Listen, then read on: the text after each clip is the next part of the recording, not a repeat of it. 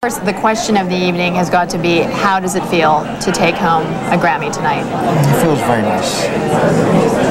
I haven't let my family down, and I haven't let Disney down. No, it's very nice. Uh, I'm very. It doesn't get old, you know.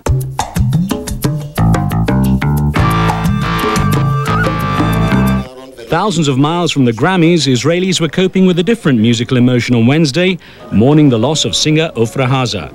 Israel's first female pop idol died after a two-week fight against a mystery illness. She was just 41 years old.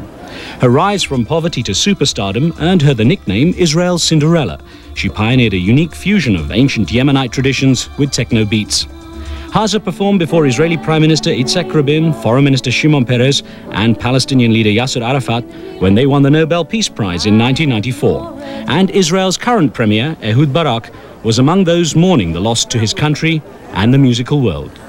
I'm Riz Khan, and that's The Beat.